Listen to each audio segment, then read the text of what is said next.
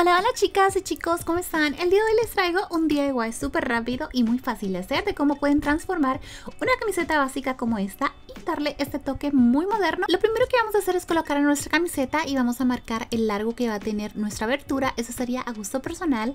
Estos son los materiales que voy a estar utilizando, lo que sería un cordón para amarrar y este tipo de tira. Esta es de hecho de leather o de piel sintética y ya viene con los orificios.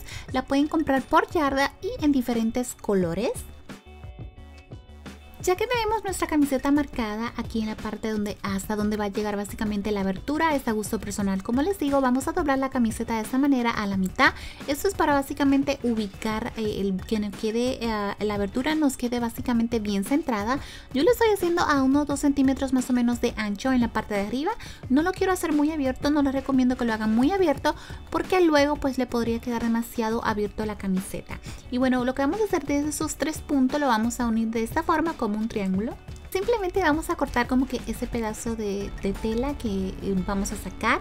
Como les dije, no les recomiendo que lo dejen muy abierto porque luego al tener la camiseta puesta, pues se va a ver demasiado abierto. Pero obviamente esto está a gusto personal.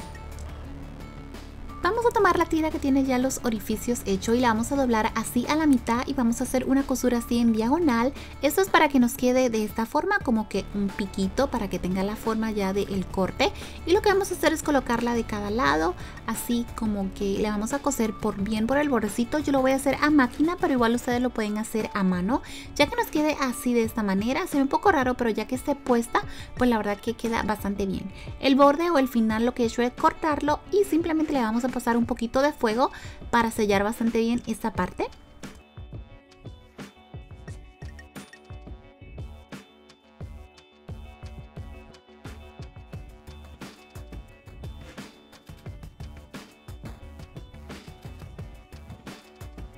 Y bueno chicas y chicos, esto es todo por este DIY, la verdad que está muy fácil y rápido de hacer y la pueden hacer en el color que ustedes quieran. Les mando muchos besos, se me cuidan y nos vemos en la próxima. Chao.